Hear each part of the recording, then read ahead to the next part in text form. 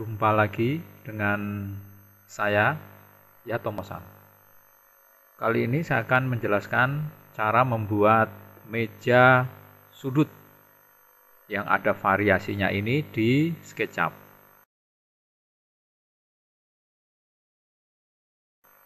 Oke ya, langsung saja. Ini soalnya. Jadi untuk mengubah satuan, ini pakai senti. Satuan tuh di sini bisa klik, lalu ada units. Di sini sudah desimal. Kalau sebelumnya masih begini, ini cari yang desimal, lalu ini cari yang senti. Oke ya, sudah seperti itu, itu aja. Nggak ada oke-nya, langsung saya close. Oke, saya pakai rektang. Kalau kemarin pakai lines, ini saya pakai rektang. 50 kali 50. Sudah senti. Ini saya scroll.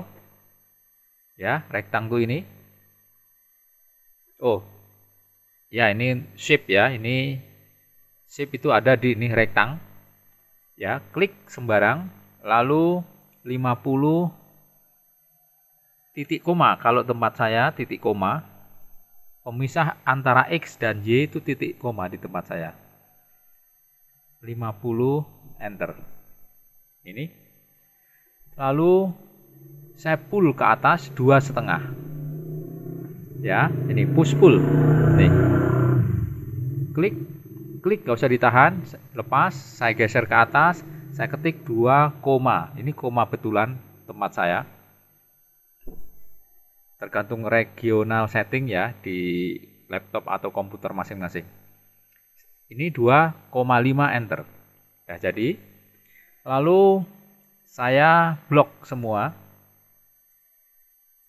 Klik kanan exit, saya pilih, saya blok. Klik kanan make group. Ya, ini make group. Oke, saya lihat lagi. Ini 5 kali 5 tingginya 40 setengah dikurangi 2 setengah berarti 38 jadi sama di luarnya aja gini 5 titik koma pemisah antara X dan Y saya menggunakan titik koma 5 titik koma 5 enter. Lalu di push pull nih berapa tadi? 38 nah ini dia. Lalu saya gini, saya pakai ini, saya blok, klik kanan, make komponen. Kalau tadi make group, ini make komponen. Nah, nanti di sini ada keterangannya, boleh dikasih kaki, meja, sudut. Boleh. Ya. Langsung create. Nah, terus Oke, ujung ketemu ujung. Jadi ini saya move, bayangin. Kalau titik ini ketemu ketemu di sini. Nah, karena tadi sudah di komponen, nah di sini ada ini. Nih, komponen. Ini dia. Klik. Udah klik dulu sembarang. Baru ya, langsung aja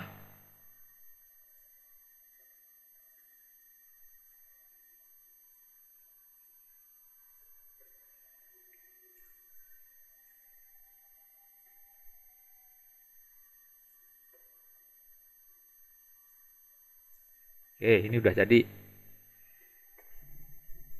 Ya, nah sekarang kita buat ini. Informasinya 8, panjangnya 40. Semua tebal kayu 2. Ini 2.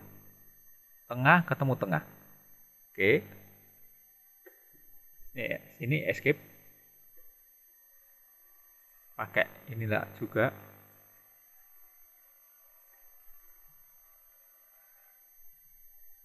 X, Y 40 titik koma 2 oh segitu. Lalu saya push pull 8 lalu saya blok klik kanan make komponen. Namanya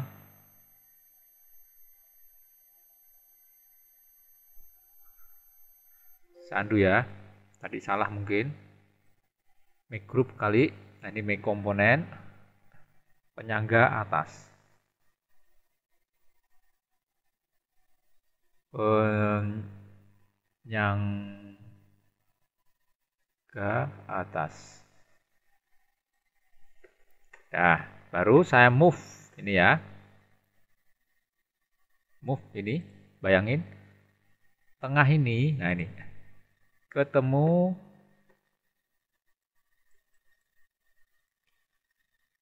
tengah-tengah ini. Ini dia, dapat ya. Tuh, ada midpoint. Udah, langsung. Nih, penyangga atas. Ini saya klik sembarang dulu.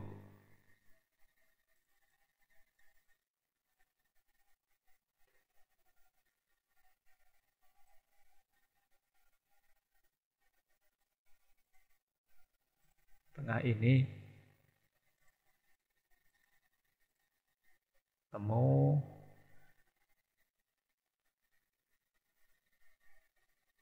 oke. Tengah ini. Ketemu. Ah, ini tengah. Nah sekarang saya lagi ambil lagi. Nah, ini untuk kita mutar ini. Ya, jadi mutar itu pakai ini. Nih, rotate. Bayangin, kalau ini saya klik di sini. Jadi ini titik putarnya, ini sumbunya, udah gini aja. Ada garis bantu, klik aja. Ini udah pasti 90. Lalu di move. Nah, ini tengah ketemu tengah.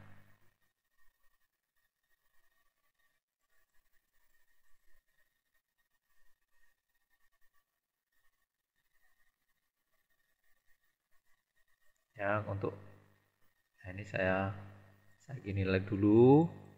Ulangi lagi. Tengah ini ketemu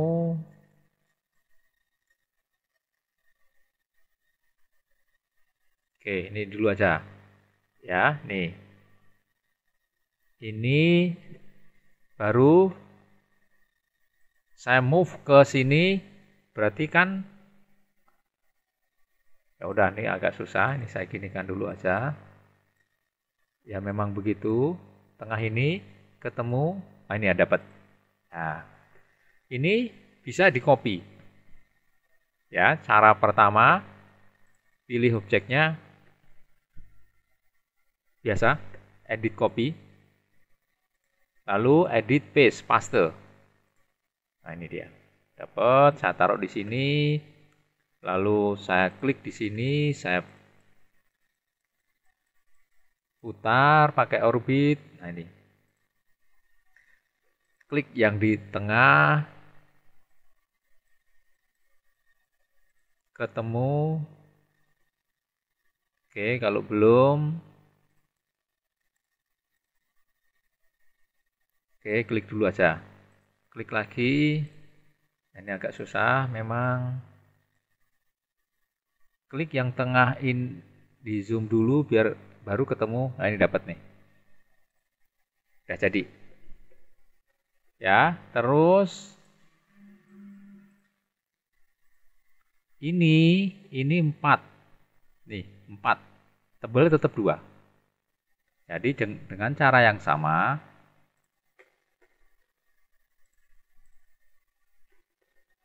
saya pakai rektang. 40 titik koma 2 oh ke sana boleh saya pull 4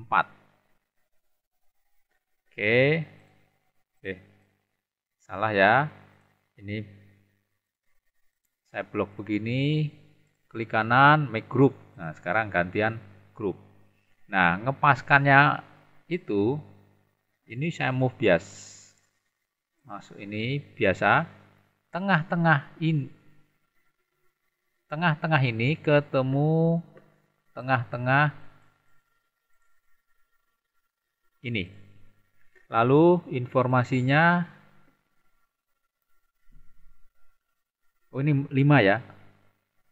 Ini sebetulnya 5 nih ini agak kelihatan aja. Kayak kelupaan nih ini dari sini ke bawah ini 5 berarti saya move ke atas nih.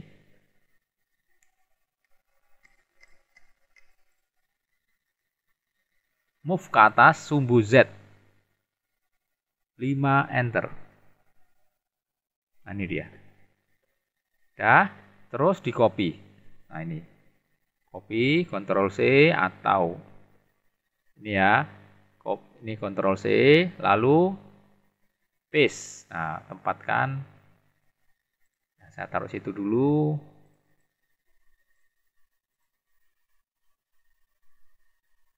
tengah-tengah ini ketemu tengah-tengah ini.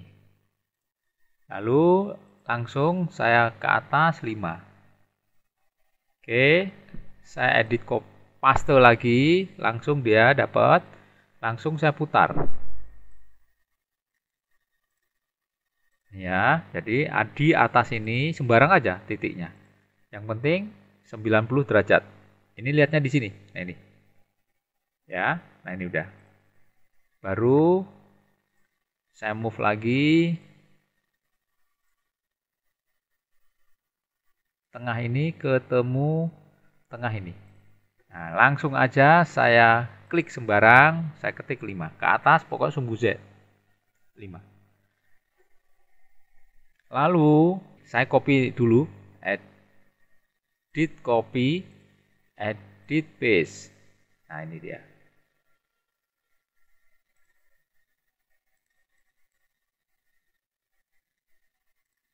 Ini dari tengah yang ketemu tengah ini, langsung aja yang penting sumbu biru, nah itu udah ada tulisan 5, 5 enter. Udah dapat ya. Kita lihat soalnya. Terus ini ini satu ya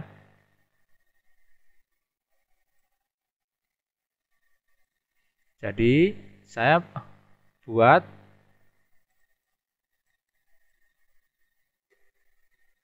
begini. Ya, pakai ini aja, pakai lines pensil, saya tarik ke atas satu, enter, lalu ke sana. Nah, ini mentok nih, udah ada tandanya, klik. Ini klik Coba saya cek. Lalu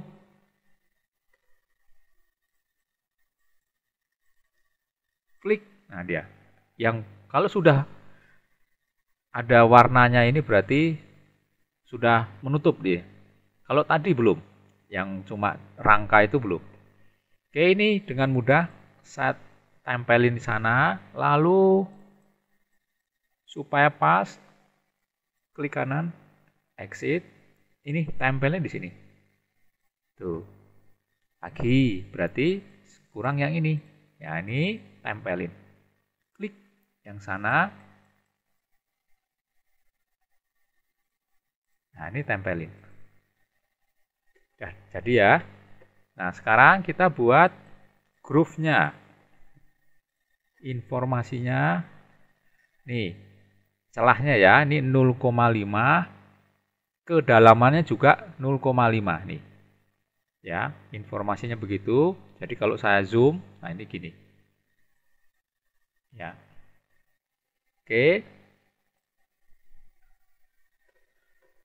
pakai garis bantu nah sekarang ini ini kalau langsung saya gambar dia nanti eh, ada di luar grup ini berarti saya buka dulu grupnya. Klik kanan di atas objeknya, edit grup. Nah, dia sudah ada ada informasi seperti ini. Jadi yang di grup ini diedit ada titik-titiknya, nggak semuanya. Ya. Jadi saya buat garis bantu ke sana 5. Ini ada. Nah, ini berarti endpoint yang lingkaran hijau. Terus saya ke sana, tempelin aja. Lalu ke sana 0,5. Ya, ini langsung aja ini dia. Langsung aja ke bawah, di push pull. Nih 0,5. Lagi, ini 5. Ini midpoint. Nah, ini endpoint. Ke sana. Nih. Lagi ke sana 0,5. Ini endpoint. Nah, ini di sini. Dah, langsung aja turunkan. Pakai push pull. 0,5. Oke, ini belum.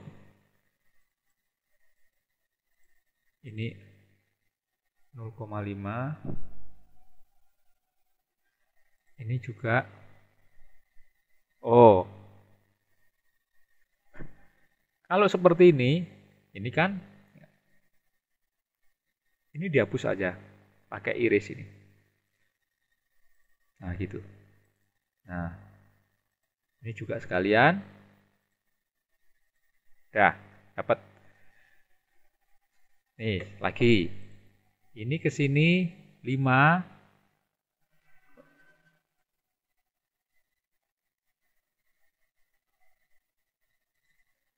Ini 0,5. Ya, ini gini langsung aja turunkan 0,5.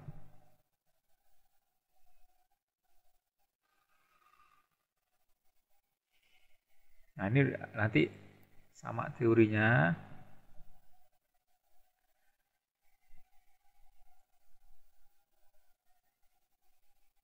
Seperti tadi dihapus.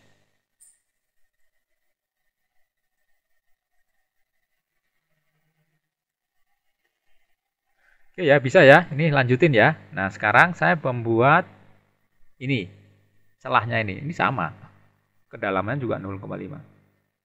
Ya. Nah, ini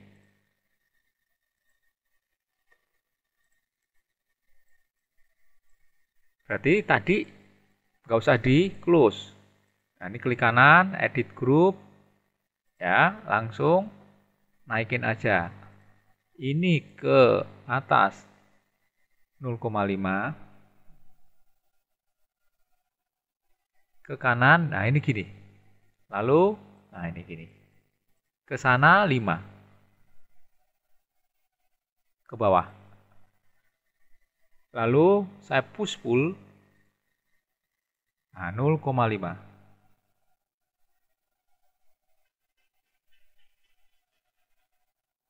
0,5 ini juga sama. 0,5 oke. Ya sekarang yang bawah sama ya. Karena ini tadi belum saya grup jadi bisa langsung. Nih. Oke. Ini saya putar dulu saya putar dulu. Nah, begini. Dari ujung sebentar, belum dapat. Nah, ini dari sini ke sini. Nah, ini. Terus ke sana 0,5. 0,5 enter. Lagi ke sana. Nah, ini. Udah tinggal dorong ke bawah. 0,5 enter. Nah dia. Nah, kira-kira seperti ini. Oke, untuk mewarnai jadi ini kan coklat, anggaplah gitu atau kayu, material kayu. Berarti saya perlu ke material di sini cari yang wood. Nah, ini ini boleh. Ya, bebas ya ini ya. Ini klik. Nah, dia jadi satu. Ya. Jadi satu utuh karena sudah di grup tadi. Nah, ini kan seratnya kurang rapat. Jadi untuk merapatkan ada di sini. Jadi ini udah kepilih edit. Ini dia. Nah, ini. Saya kepengen kanan kirinya tetap. Kalau ini saya ubah jadi 10, yang bawah ikut ya. Nah, ini yang bawah ikut. Nah, ini. Nah, saya pengen ini nggak ngikut, ini dibuka, di lock. Nah, ini unlock namanya. Saya kasih 100. Oh gitu ya, ternyata. Ke kanan kiri. Kalau ini, nah ini aja. Nah ini dia, ya dapat. Saya pengen seperti ini. Ya. Nah, lalu untuk warna uh, untuk ngasih material yang lain ini bisa kalian select di sini kembali terus pilih yang lain ya. Ya misal ini uh, Nah, ini aja misal. Nah, sekarang untuk yang bawah.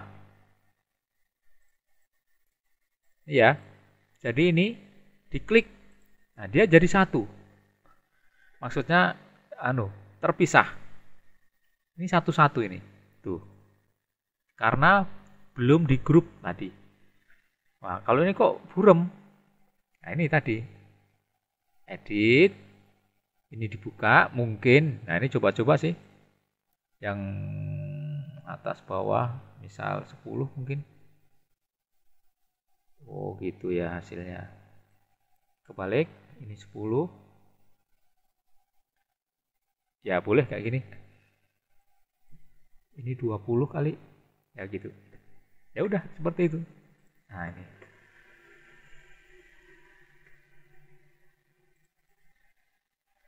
Oke, nah sekarang misal yang ini ngikutin yang ini. Pilih lagi ini kembali Nah ini mana? Ini diklik, ini in model, ini in model. In model tuh ada yang apa di sini? Pokoknya war e, termasuk ini, ya.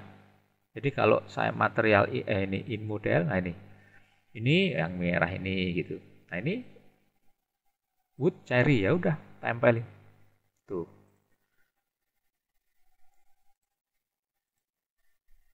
Nah, gitu. Kira-kira begitu.